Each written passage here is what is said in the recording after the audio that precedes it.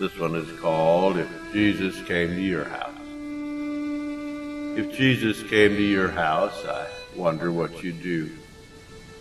Yes, if Jesus came to your house to spend a day or two. If he came unexpected and just dropped in on you, I know you'd give your nicest room to such an honored guest. And all the food that you'd serve to him would be the very best.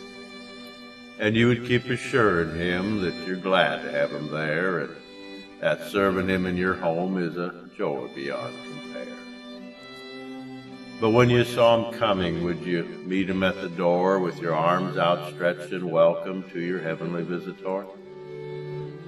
Or would you have to change your clothes before you let him in, or maybe hide some magazines and put the Bible where they've been? Would you turn off the radio and hope he hadn't heard and wish you hadn't uttered that last loud, hasty word? And would you hide your worldly music and put some hymn books out? Could you let Jesus just walk right in, or would you rush about? And I wonder if the Savior spent a day or two with you. Would you go right on doing the things you always do?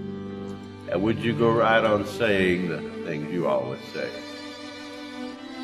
Would life for you continue as it does from day to day?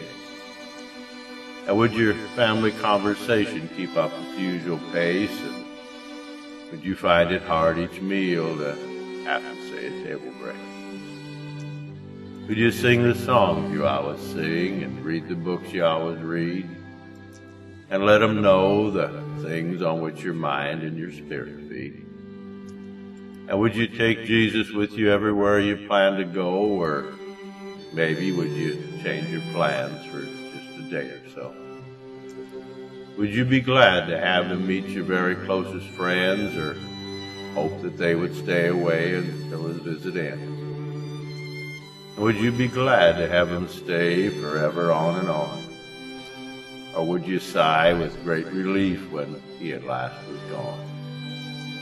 Oh, it might be interesting to know the things that you would do if Jesus came in person to spend some time with you.